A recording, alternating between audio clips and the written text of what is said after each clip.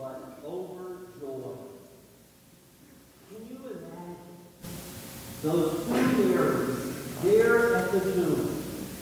And then all of a sudden, through all of this natural disaster that's taking place around them, the earthquake and the stone moving, the angel coming to say, He's not here. He has risen, just as He says. Go, go, tell the others. They were fearful, but They were fearful. What does all this mean? What's going to happen next? Where will this take us? They were overjoyed. Oh my God, it's true. What he told us is true. But what does it all mean? Where will this take us? We find ourselves this morning in the very same place and feeling those same emotions. Fearful. How long is Mother going to talk?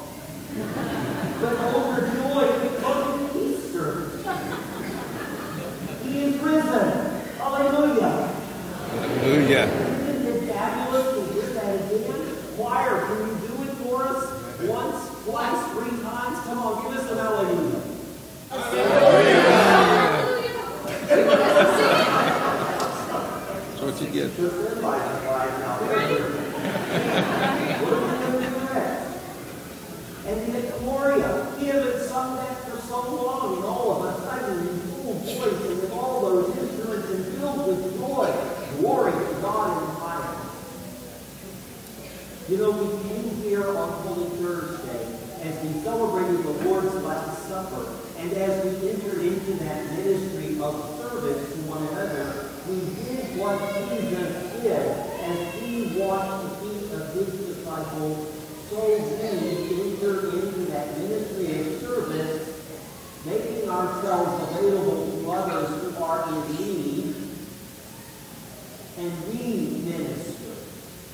Our service is joined to the service of Jesus, and that is tremendous ministry and service to the church universal and God in his heaven. On Good Friday, we came here and we immerse ourselves in the suffering and the death of Jesus.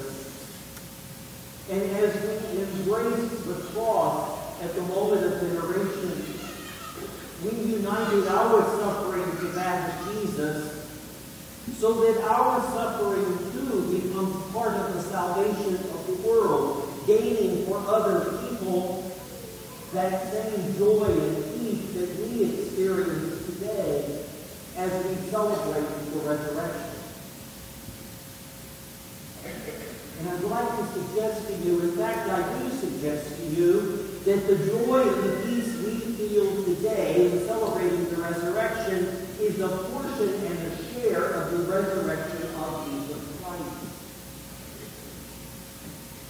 Every time we do something that brings us just some measure of success, we are participating in the resurrection of Jesus. Think about this for just a moment. In our homes, when there is some disagreement, some discord, and we sit down and have those discussions, my dad would say it's time to come to Jesus.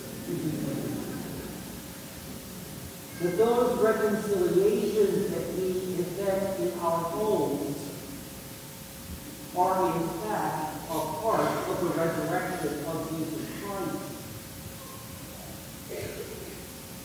And we rise with him to something new, something different, something that gives us the opportunity to grow a bit more. Those reconciliations that we effect in our workplaces, in our schools, all of that is a part of the resurrection of Jesus. The after someone very, very dear to us has died that this is all part of God's eternal plan to bring us all into the glory of the kingdom, that is a part of the resurrection of Jesus Christ. That major surgery that we have to go through, the fear that we have, and releasing that so that we understand and somehow come to accept the fact that God is going to get us through this. That's part of the resurrection of Jesus Christ. Last night, as we welcomed into this faith community and into this universal church, the body of Christ, 18 new members, eight or nine through baptism, and the rest through profession of faith. All of them are now part of the resurrection of Jesus Christ. And they bring all of us, this community of St. Paul, into that resurrection. So that we, who experience the peace and joy of this day, are able to share that with the two Marys who run along the road to go to the disciples and say, it's true, it's true, he's risen. And notice that on the way, fearful but overjoyed, Jesus himself appeared to them. And I was struck by the fact that what did they do? They embraced his peace.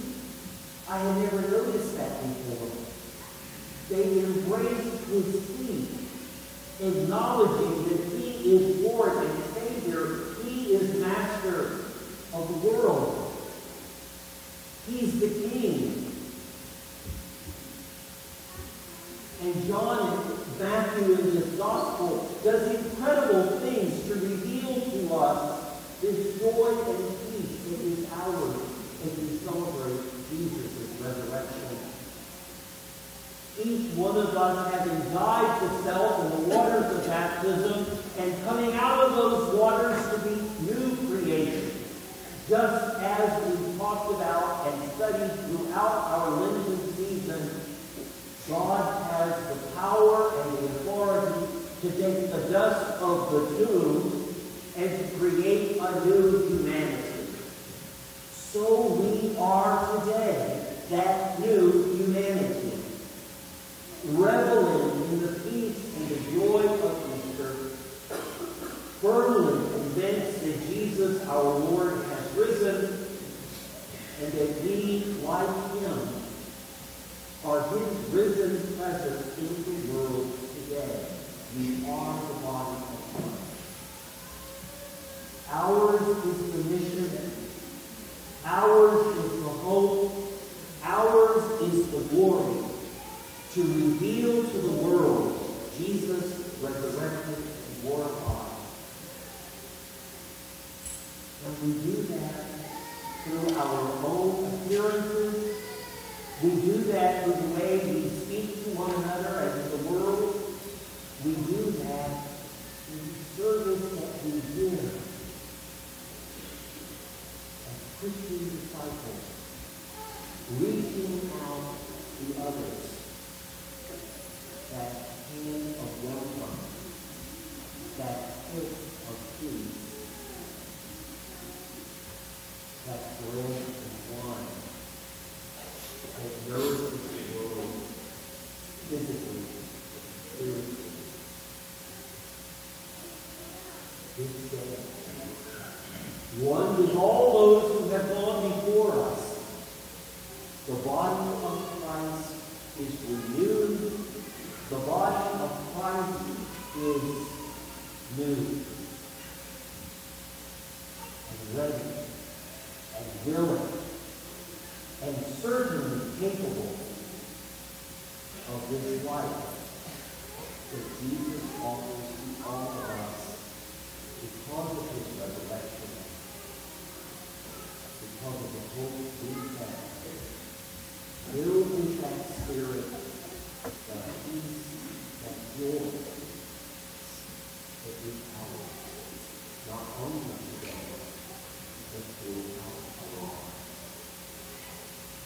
Easter.